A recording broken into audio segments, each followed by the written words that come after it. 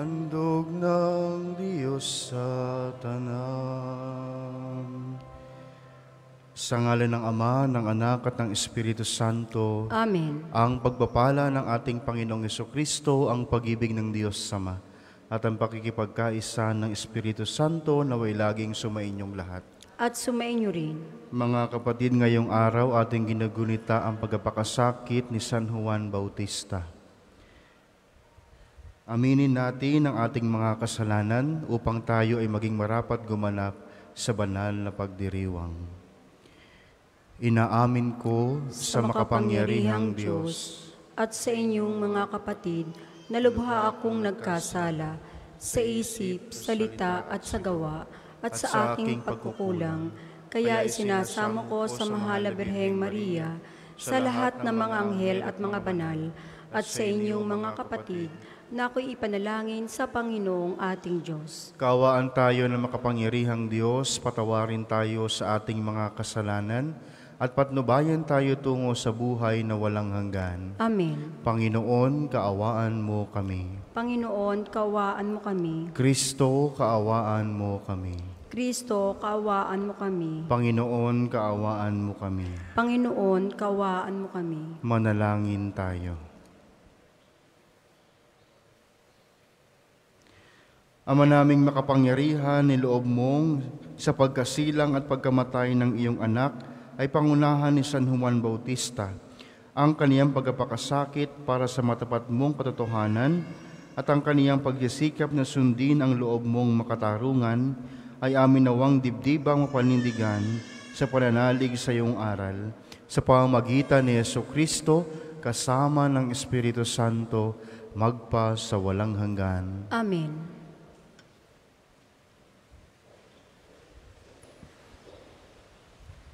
Pagbasa mula sa aklat ni Propeta Jeremias. Noong mga araw na iyon, sinabi sa akin ng Panginoon, Magpakatatag ka, humayo ka at sabihin mo sa kanila ang lahat ng iuutos ko. Huwag kang matatakot sa kanila ngayon. Pag hindi ka sumunod sa akin, lalo kang matatakot kung naroon ka na sa kalagitnaan nila. Pakinggan mong mabuti ito, Jeremias. Ang bawat isa sa lupaing ito, ang mga hari ng Huda, ang mga pinuno, ang mga saserdote, at ang buong bayan, ay sasalungat sa iyo. Ngunit gagawin kitang sintibay ng isang lungsod na naliligid ng mga muog, sintatag ng haliging bakal o pader na tanso hindi ka nila matatalo sapagkat ako mag-iingat sa iyo. Akong Panginoon ang nagsasabi nito. Ang salita ng Diyos. Salamat sa Diyos, salmong tugunan, patuloy kong isasaysay ang dulot mong kaligtasan. Patuloy kong isasaysay ang dulot mong kaligtasan. Sa iyo lang, Panginoon, lubos akong nananalig Huwag mo akong pabayaang mapahiya at malupig. Tulungan mo ako ngayon, yamang ikaw ay matuwid. Ako sana ay sagipin, sa daing ko ay makinig. Patuloy kong isasaysay ang dulot mong kaligtasan. Ikaw nawa ang muog ko at ligtas na kakanlungan. Matatag na kublihan ko at matibay na sanggalang. Sa lahat ng masasama, O Diyos, ako'y ipaglaban sa kuko ng mababagsik, huwag mo akong pabayaan. Patuloy kong isasaysay ang dulot mong kaligtasan. Panginoon, sa iyo ko inilagak ang pag-asa. Maliit pang bata ako, sa iyo'y may tiwala na. Sa simula at mula pa, wala akong inaasahang mag-iingat sa sarili, kundi tanging ikaw lamang. Kaya naman ikaw poon, pupurihin araw-araw. Patuloy kong isasaysay ang dulot mong kaligtasan. Pagkat ikaw ay dakila, patuloy kong isasaysay, maghapon kong iahayag ang dulot mong kaligtasan. Sa pulpa sa pagkabata, ako'y iyong tinuruan. Hanggang ngayon sinasambit ang gawa mong hinangaan. Patuloy kong isasaysay ang dulot mong kaligtasan. Ang lahat po ay magsitayo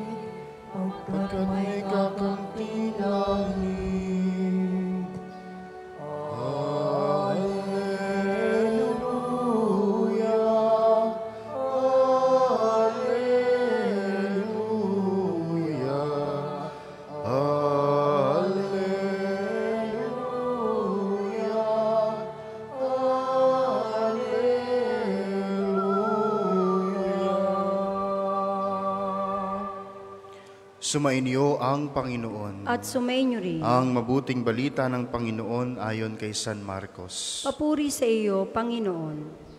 Noong panahong iyon, si Herodes ang nagpahuli, nagpagapos, at nagpabilanggo kay Juan dahil kay Herodias.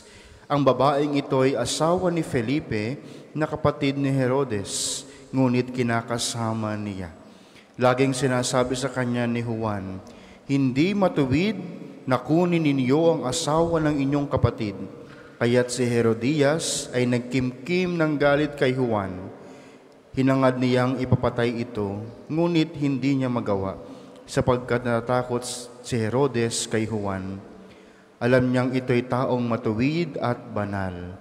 Kaya't ipinagsasanggalang niya, gustong gusto niyang makinig kay Juan, bagamat labis siyang nababagabag sa mga sinasabi nito.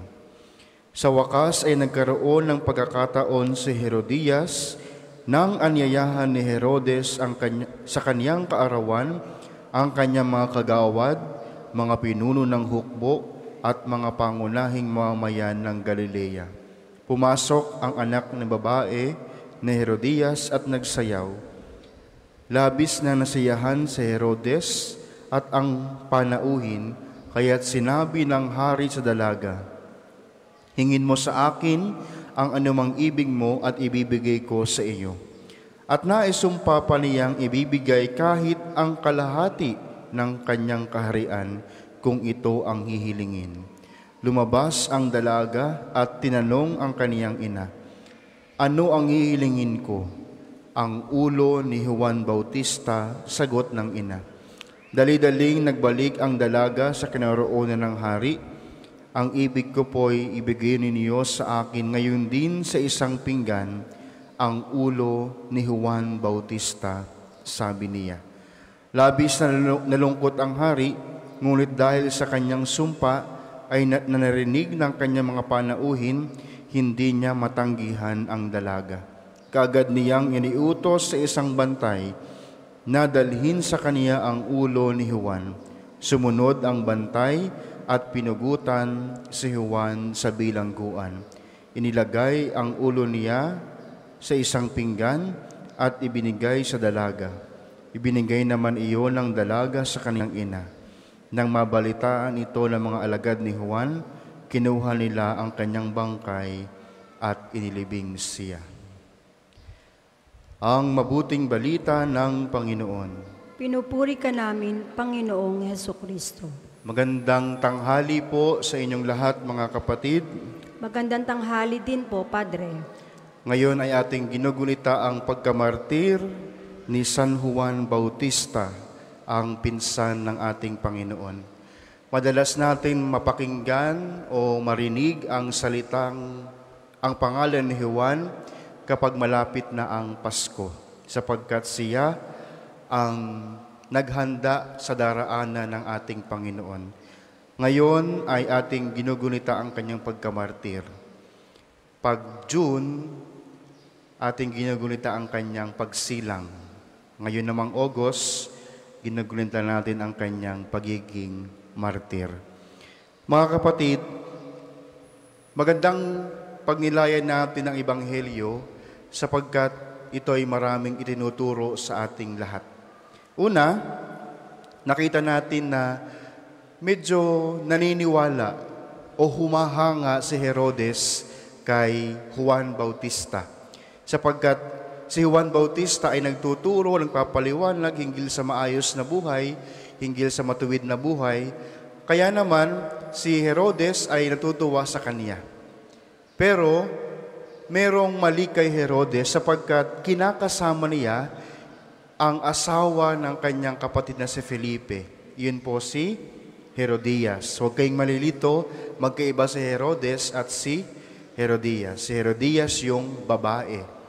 At nagkaroon ng galit, nagkimkim ng galit itong si Herodias kay Juan Bautista. Ngunit sabi sa Ebanghelyo, takot siyang ipapatay ito sapagkat ito'y taong banal at matuwid. Okay? At nagkaroon siya ng pagkakataon na ipapatay si Juan Bautista sa pamamagitan ni Herodes. at nagwagi naman siya. Napugutan ng ulo o pinugutan ng ulo si Juan Bautista. Mga kapatid, nakita natin kung gaano kalaki ang influence ni Herodias kay Herodes. Yung influence and manipulation. Kaya magandang tanongin natin ating sarili kung meron ba tayong influence sa ibang tao. At kung meron tayong influence, papaano na rin ito ginagamit? Ito ba ay para sa kabutihan o para sa ating sariling kapakanan lamang? Kung tayo ay naiimpluwensyahan, yung bang nakaka-impluwensya sa atin, ito ba'y nagdudulot sa atin ng mabuting pamumuhay o hindi? Kasi yun yung parang nakikita natin na naging dahilan kung bakit napilitang ipapugot ang ulo ni Juan Bautista. Kasi itong si Herodes, medyo nagyabang din. Ayaw niyang masira yung kanyang pangako. Sabi nga sa ating Ebanghelyo, kahit kalahati ng kanyang kaharian, willing niyang ibigay doon sa dalagang anak ni Herodias dahil napaligaya sila sa pamagitan ng pagsasayaw. Kung sana hindi inuna ni Herodes ang kanyang pride, baka hindi napugutan itong si Juan Bautista. Hindi sana naging martir itong si Juan Bautista. At isa pang magandang pagnilayan natin, yung pagtayo, pagtindig, paninindigan ni Juan Bautista. Mali ang makisama ka sa hindi mo asawa at maling-mali ang makisama ka sa asawa ng iyong kapatid. Yun yung sinasabi ni Juan Bautista. Kaya si Herodes ay nababagabag sapagkat ang sinasabi ni Juan Bautista ay katotohanan. Paminsan yung katotohanan sa atin, hindi natin maintindihan. Bakit? Sapagkat ang katotohanan din minamanipula para lamang sa sariling kapakanan. Kaya magandang paalaala.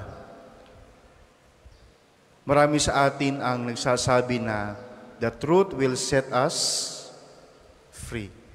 Magiging malaya daw tayo kapag tinangkilik natin ang katotohanan.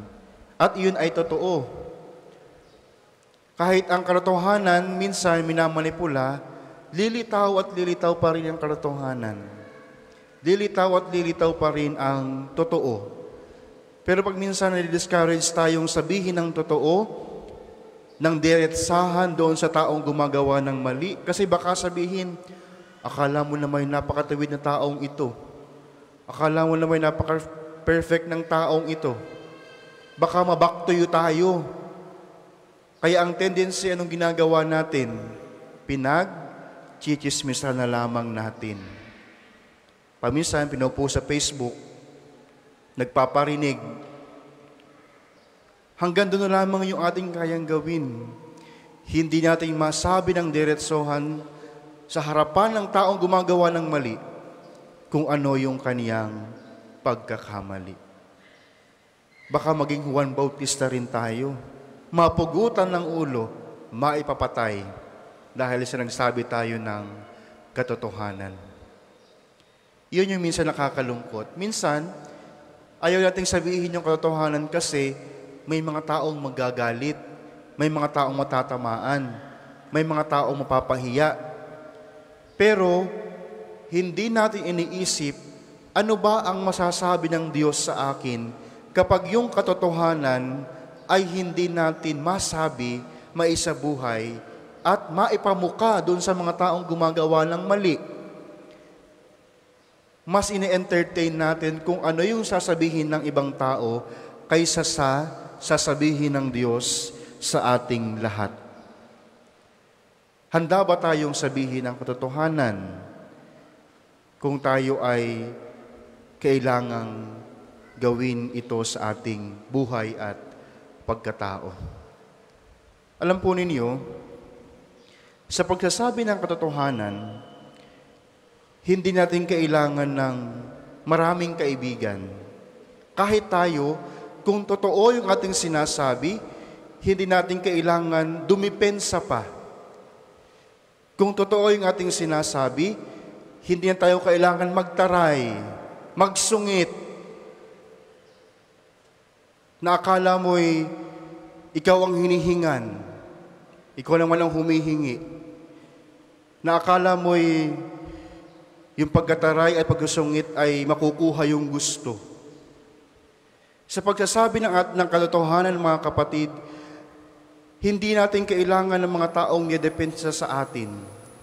Kung totoo ang ating sinasabi, kung nasa, nasa katotohanan tayo, hindi in mawawala sa atin. Makikita at, ma- at makikita ito ng ibang tao kung tayo ay nagsasabi ng katotohanan. Hindi natin kailangan ng maraming tutulong sa atin at dedepensa sa atin kung tayo talaga ay nasa katotohanan. Mga kapatid, naway maging inspirasyon natin ito si San Juan Bautista. Na minsan sa buhay natin, bagamat tayo ay makakasakit ng damdamin, bagamat tayo ay mababas din, sasabihin sa atin ay akala kung sino tayong matuwid. Pero ang mahalaga, alam natin sa ating pagkatao na tayo'y nabubuhay, namumuhay, at nagsasabi ng kung ano yung totoo at tama. Dahil ang katotohanan ay tama kahit kakaunti ang gumagawa. At ang mali ay mali kahit marami ang gumagawa.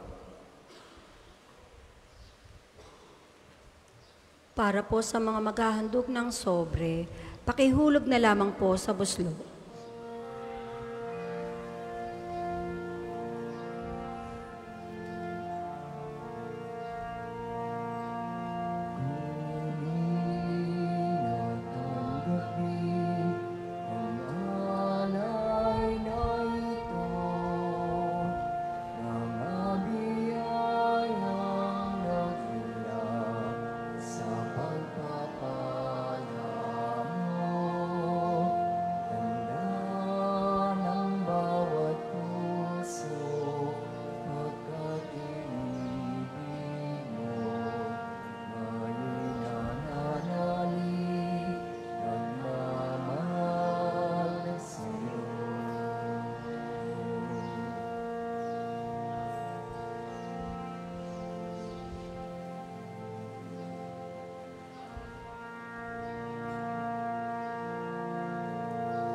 Po ay magsitayo. Manalangin kayo mga kapatid upang itong ating paghahain ay kalugdan ng Diyos amang makapangyarihan. Tanggapin nawa ng Panginoon itong paghahain sa iyong mga kamay, sa kapurihan niya at karangalan, sa ating kapakinabangan at sa buong sambayanan niyang banal. Ama naming lumikha sa aming paghahain ngayon ng mga alay, ipagkaloob mong ang tuwid na landas na ipinangaral ni San Juan sa ilang, at sa dugo niyang dumanak ay matapang niyang tinatakan sa pamamagitan ni Yesu Kristo, kasama ng Espiritu Santo, magpa sa walang hanggan. Amen. Sumainyo ang Panginoon. At sumainyo rin, Itaas sa Diyos ang inyong puso at diwa. itinaas na namin sa Panginoon. Pasalamatan natin ng Panginoong ating Diyos. Marapat na siya ay pasalamatan. Ama naming makapangyarihan, tunay ang marapat na ikaw ay aming pasalamatan sa pamamagitan ni Yeso Kristo na aming Panginoon. Dinadakila namin ang pagkatalaga sa pinili mong sa Kanya'y manguna ang tagapagbiniyag na si San Juan Bautista. Sa lahat ng isinilang siya'y iyong itinangi at sa ligaya ng marami siya'y naging sanhi bago pa sa iluwal kanya nang ikinagalak ang pagdating niyang tagapagligtas ng lahat. Sa tanang propeta'y siya lang ang naghayag na narito ang korderong sa lahat magliligtas. Siya pa rin ang tagabiniyag na gumanap sa nagpabanal sa tubig at nagutos magbiniyag na tapat niyang pinanindigan kahit dugo niya'y dumanak. Kaya kaisa ng mga anghel na nagsisiawit ng papuri sa iyo nang walang humpay sa kalangitan, kami nagbubuni sa iyong kadakilaan.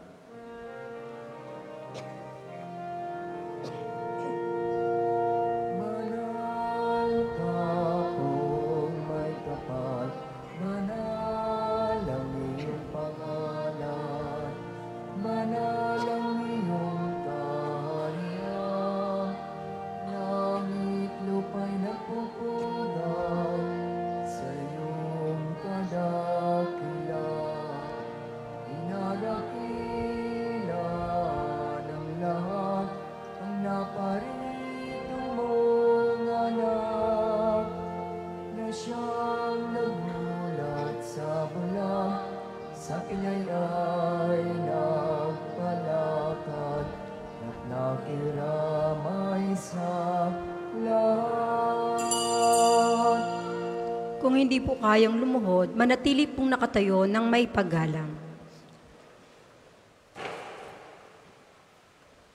Ama naming banal, ikaw ang bukal ng tanang kabanalan.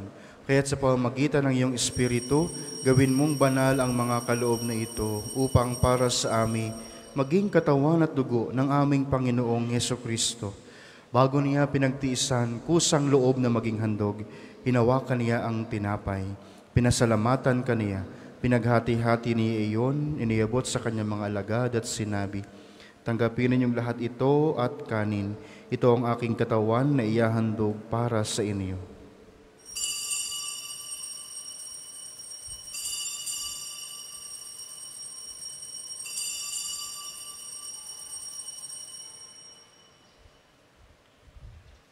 Gayun din naman noong matapos ang hapunan, hinawakan niya ang kalis. Muli kaniyang pinasalamatan, iniabot niya ang kalis sa kanyang mga alagad at sinabi, Tanggapin ninyong lahat ito at inumin.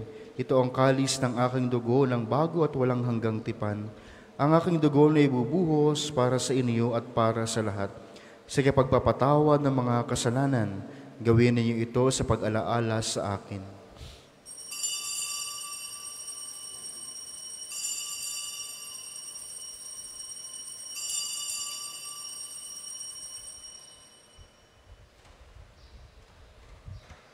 Ipagbunyi natin ang misteryo ng pananampalataya. Si Kristo'y namatay, si Kristo'y nabuhay, si Kristo'y babalik sa wakas ng panahon. Ama, ginagawa namin ngayon ang pag-alaala sa pagkamatay at muling pagkabuhay ng iyong anak. Kaya't iniaalay namin sa iyo ang tinapay na nagbibigay buhay at ang kalis na nagkakaloob ng kaligtasan.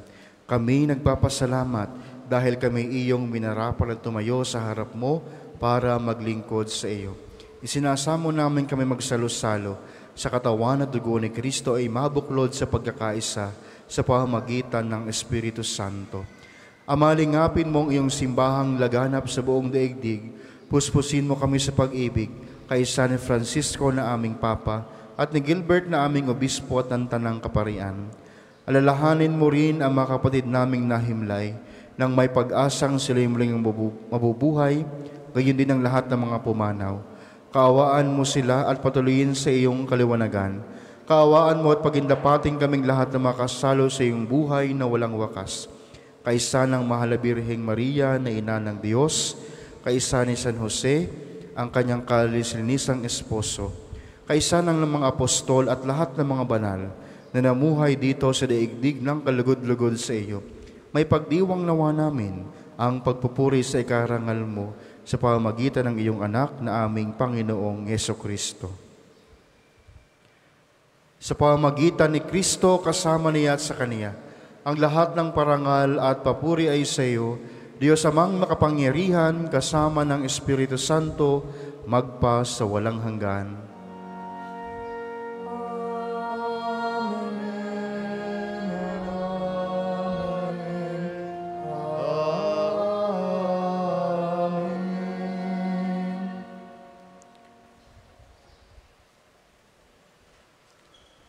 Sa tagubili ng nakagaling na utos at turo ni Jesus na Panginoon natin at Diyos, ipahayag natin ang lakas loob.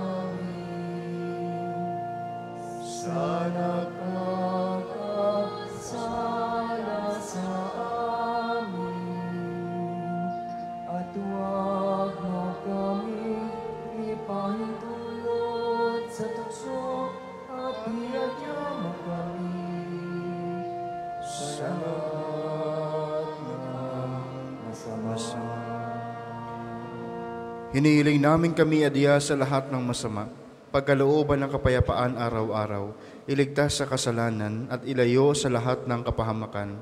Samantalang aming pinanabikan ang dakilang araw ng pagpapahayag ng tagapagligtas naming si Yeso Kristo. sapagkat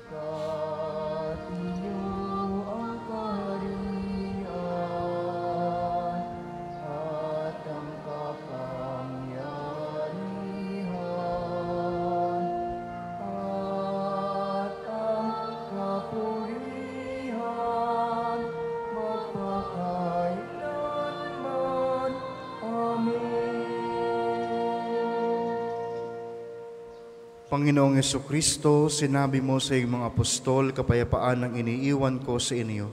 Ang aking kapayapaan ang ibinibigay ko sa inyo. Tunghayan mo ang aming pananampalataya at huwag ang aming pagkakasala. Pagkalooban mo kami ng kapayapaan at pagkakaisa ayon sa iyong kalooban kasama ng Espiritu Santo magpa sa walang hanggan. Amen. Ang kapayapaan ng Panginoon ay laging sumainyo. At sumainyo rin. Magbigayan kayo ng kapayapaan sa isa't isa. Peace be with you. Kordero ng Diyos na nag-aalis ng mga kasalanan ng sanlibutan, maawa ka sa amin. Kordero ng Diyos na nag-aalis ng mga kasalanan ng sanlibutan, maawa ka sa amin. Kordero ng Diyos na nag-aalis ng mga kasalanan ng sanlibutan, ipagkaloob mo sa amin ang kapayapaan. Kung hindi po kayang lumuhod, manatili pong nakatayo ng may paggalang.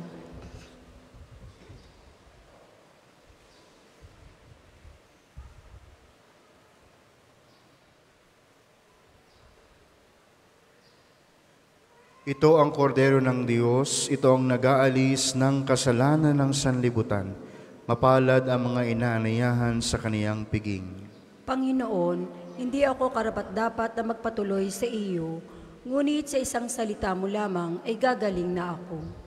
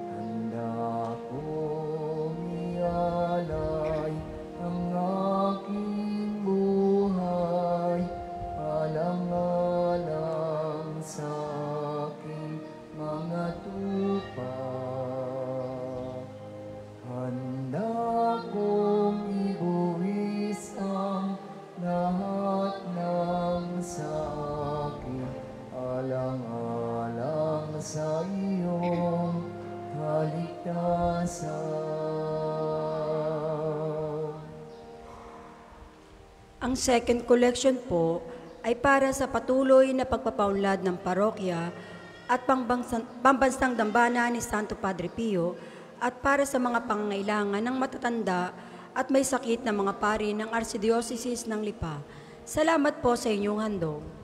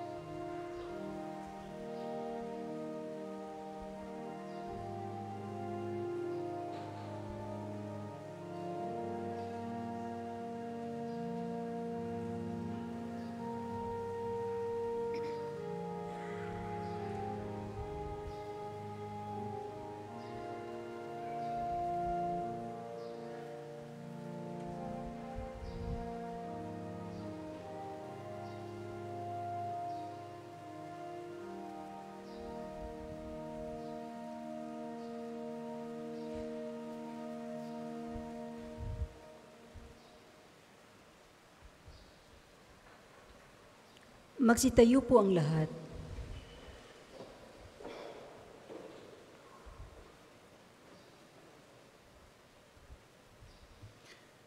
Manalangin tayo. Ama naming nga pagmahal sa aming pagsasalo sa banal na pakikinabang, ngayong ipinagdiriwang ang pagsilang sa kalangitan ng tagabinyag na si San Juan. Ipagkaloob mong sambahin namin ang inilahad nitong buhay at ik- ikagalak namin lalo na ang pagganap nito araw-araw. Sa pamagitan ni Yeso Kristo, kasama ng Espiritu Santo, magpa sa walang hanggan. Amen. Panalangin ng pagtitiwala kay Santo Padre Pio, tayo pong lahat. Padre Pio, taga Pietrelcina, mongheng banal, pintakasing santo ng milenyong kasalukuyan, gabay namin sa pagtahak sa landasing makalangit, takbuhan sa pangangailangan, huwaran ng pagtitiis.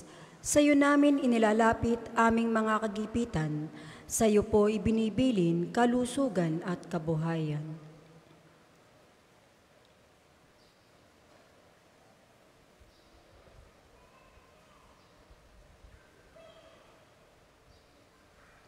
Di man karapat dapat, kami po ay pagbigyan, bindisyonan at basbasan, maging ganap sa buhay. Lumayo nawa kami, umiwas sa kasalanan, lumapit lagi sa Diyos, maging matatag at matibay. Sa mabuting balita ng pagliligtas, turuan mo kami nawa, sa tuwi na ay makinig, magnilay at sumampalataya. Amin pong pakiusap itong mga kahilingan, Puso ay nagsisisi, nagtitikang time-timan.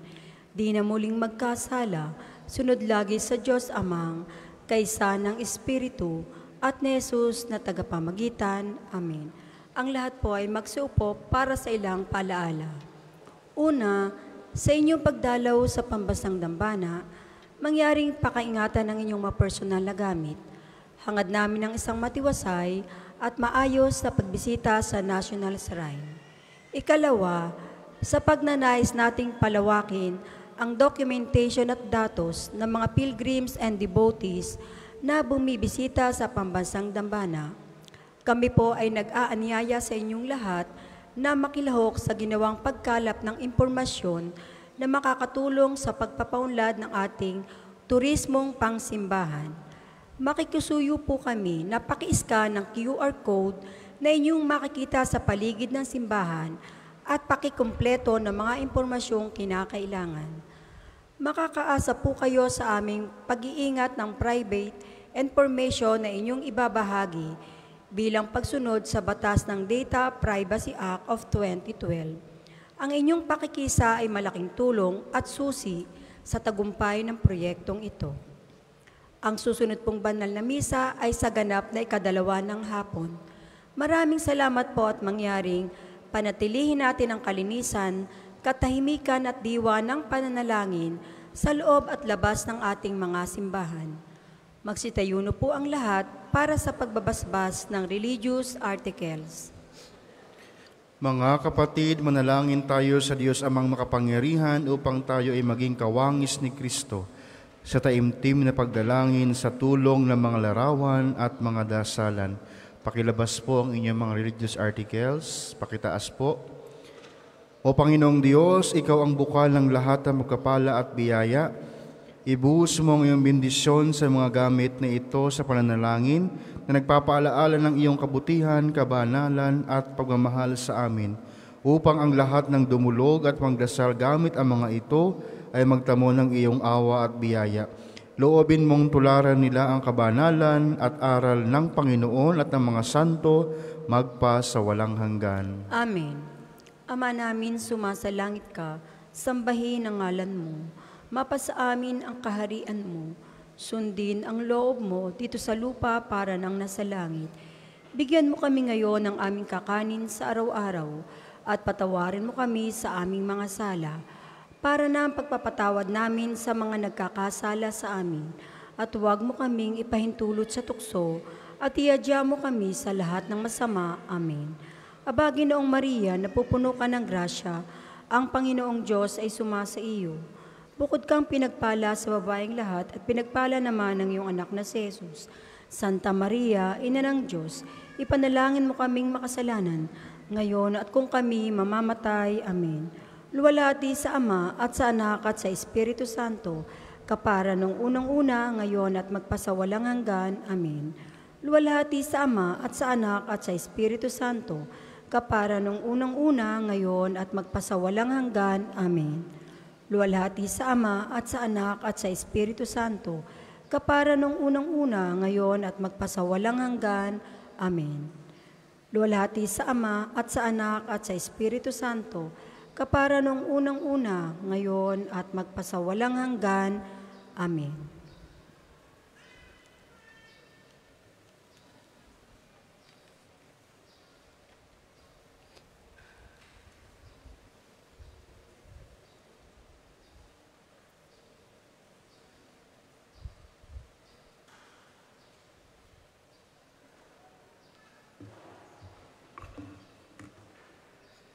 Sumainyo ang Panginoon. At sumainyo rin. Pagpalain kayo ng makapangyarihang Diyos, Ama, Anak at Espiritu Santo. Amen. Tapos na ang misa, taglayin ninyo sa inyong pag-alis ang kapayapaan ni Kristo. Salamat sa Diyos.